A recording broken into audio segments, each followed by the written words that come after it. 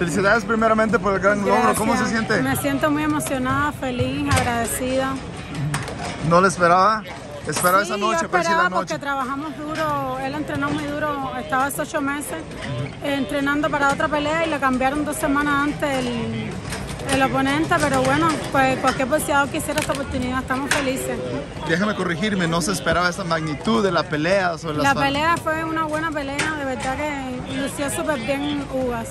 No hay nada que estar avergonzado de su esposo porque usted lo dijo, menos de una semana tomar esta pelea contra esa Exacto. leyenda es un gran logro para su esposo, ¿verdad? Exacto, estoy muy agradecida y muy feliz, Su esposo ahorita está arriba del mundo, ¿verdad que sí? gracias a Dios. Y se lo merece que la próxima vez lo vamos a ver en el cuadrilátero. No sabemos todavía, todavía estamos Bueno, asimilando. La voy a dejar que celebre esta victoria. Gracias. Gracias.